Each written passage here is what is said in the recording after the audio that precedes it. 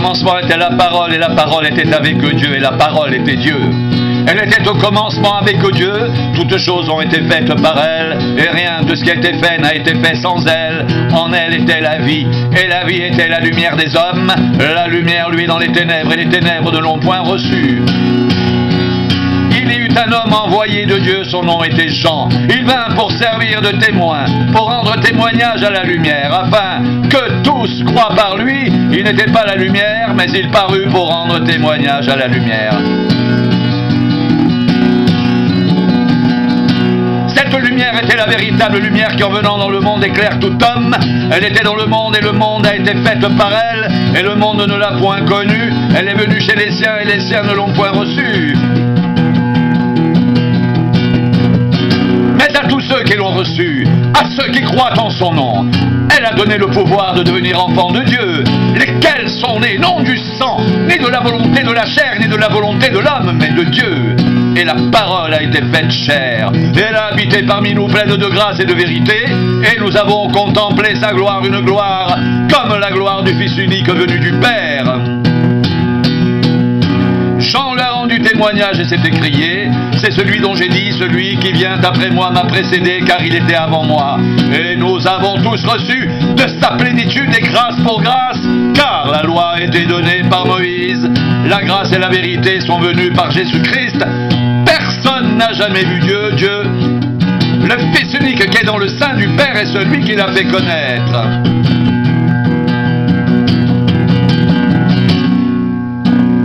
Rendez grâce au Père qui vous a rendu capable d'avoir part à l'héritage des saints dans la lumière, qui nous a délivrés de la puissance des ténèbres et nous a transportés dans le royaume du Fils de son amour, en qui nous avons la rédemption, la rémission des péchés. Il est l'image du Dieu invisible, le premier-né de toute la création, car en lui ont été créées toutes les choses qui sont dans les cieux et sur la terre, les visibles et les invisibles, trône, dignité, domination, autorité.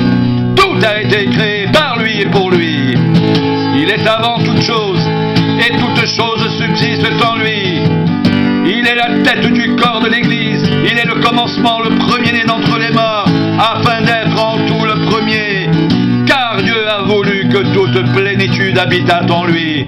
Il a voulu par lui réconcilier tout avec lui, tant ce qui est sur la terre que ce qui est dans les cieux, en faisant la paix par lui, par le sang de la croix.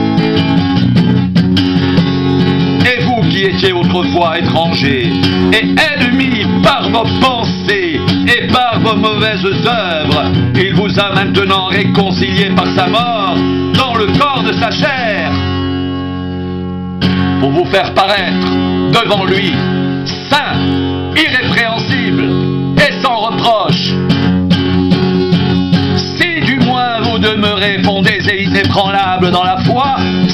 Détourner de l'espérance de l'évangile que vous avez entendu, qui a été prêché à toute créature sous le ciel, et dont moi, Paul, j'ai été fait ministre.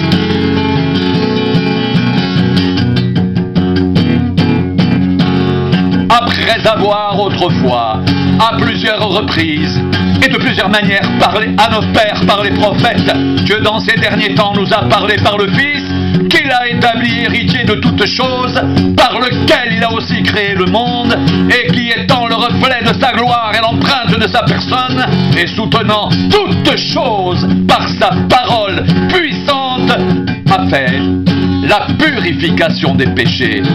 Et s'est assis à la droite de la majesté divine dans les lieux très hauts, devenu de temps supérieur aux anges, qu'il a hérité d'un nom plus excellent que le leur.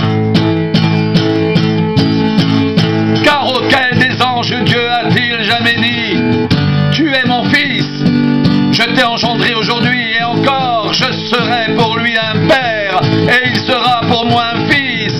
Et lorsqu'il introduit de nouveau dans le monde le premier-né, il dit que tous les anges de Dieu l'adorent. De plus, il dit des anges, celui qui a fait de ses anges des vents et de ses serviteurs une flamme de feu.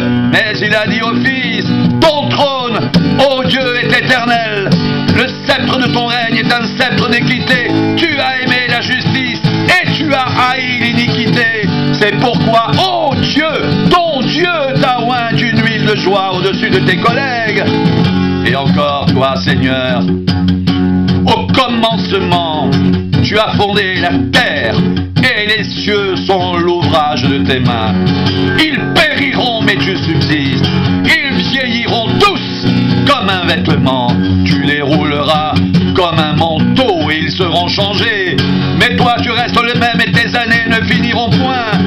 Et auquel des anges a-t-il jamais dit Assieds-toi à ma droite jusqu'à ce que je fasse de tes ennemis ton marchepied.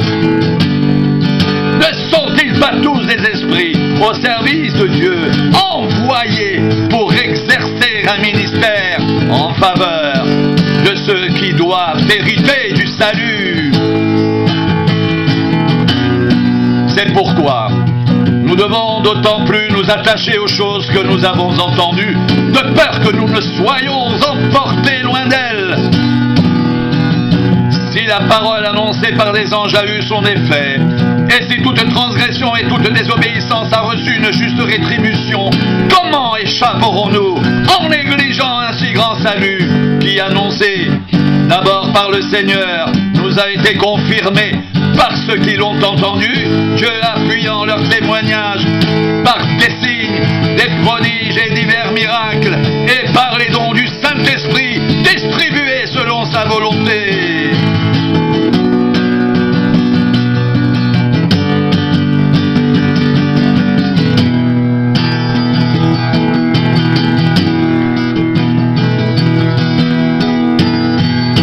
qui était dès le commencement, ce que nous avons entendu, ce que nous avons vu de nos yeux, ce que nous avons contemplé, que nos mains ont touché concernant la parole de vie.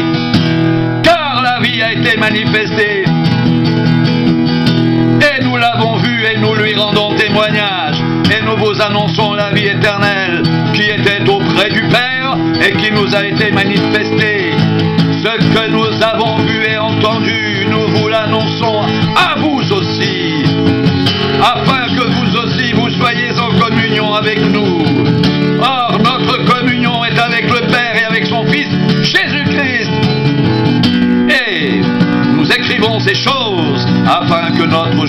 parfaite.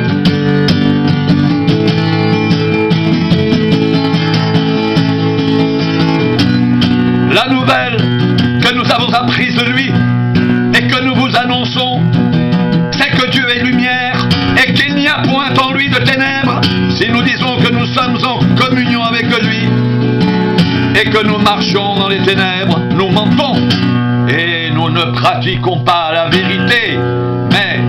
Nous marchons dans la lumière, comme il est lui-même dans la lumière, nous sommes mutuellement en communion et le sang de Jésus, son Fils, nous purifie de tout péché. Si nous disons que nous n'avons pas de péché, nous nous séduisons nous-mêmes et la vérité n'est point en nous. Si nous confessons nos péchés, il est fidèle et juste pour nous les pardonner et pour nous purifier de toute iniquité. Si nous disons que nous n'avons pas péché, nous le faisons menteur et sa parole n'est point en nous. Mes petits enfants, je vous écris ces choses afin que vous ne péchiez point. Et si quelqu'un a péché, nous avons un avocat auprès du Père.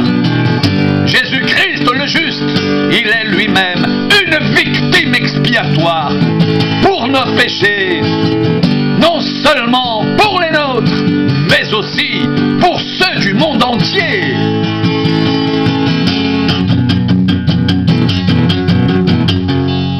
Si nous gardons ces commandements, par là nous savons que nous l'avons connu.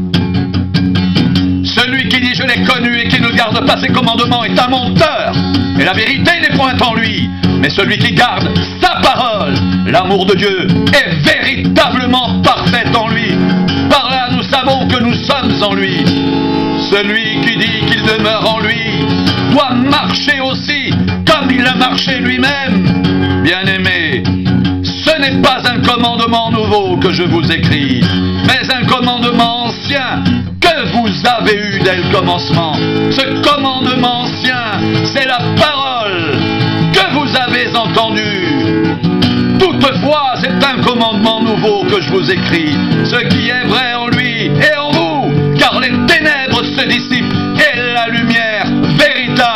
déjà.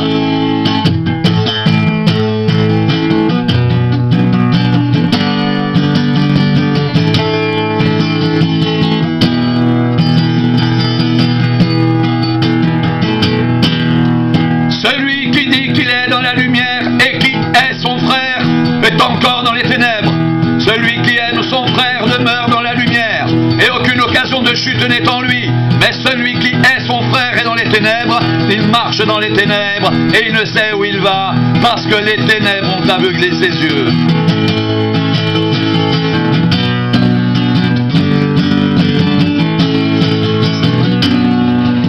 Je vous écris, petits enfants, parce que vos péchés vous sont pardonnés à cause de son nom.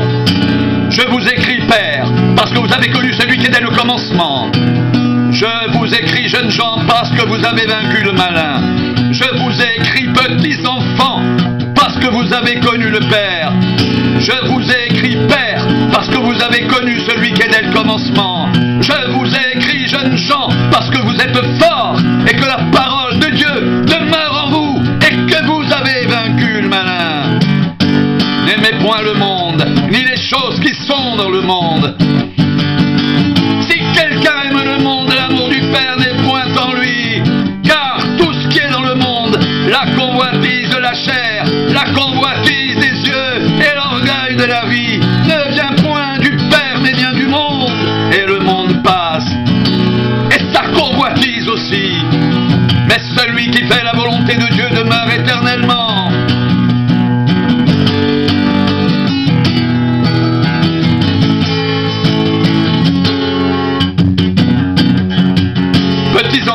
La dernière heure. Et comme vous avez appris qu'un antéchrist vient, il y a maintenant plusieurs antéchrists. Par là, nous connaissons que c'est la dernière heure. Ils sont sortis du milieu de nous, mais ils n'étaient pas des nôtres. Car s'ils eussent été des nôtres, ils seraient demeurés avec nous. Mais cela est arrivé afin qu'il fût manifeste que tous ne sont pas des nôtres. Pour vous, vous avez reçu l'onction de la part de celui qui est saint. Et vous avez tous la connaissance.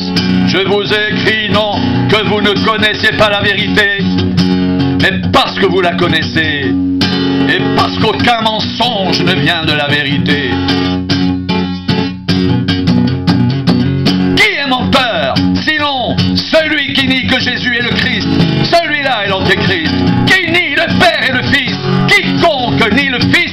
Pas non plus le Père. Quiconque confesse le Fils a aussi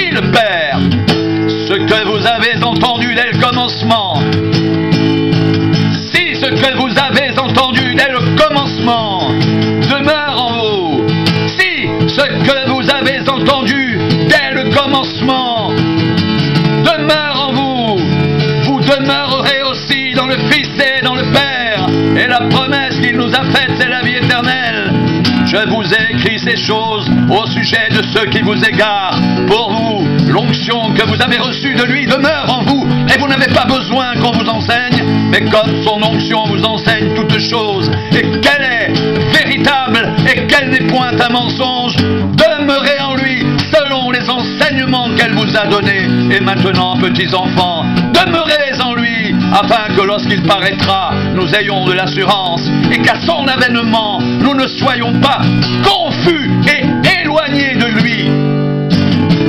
Si vous savez qu'il est juste, reconnaissez que quiconque pratique la justice est né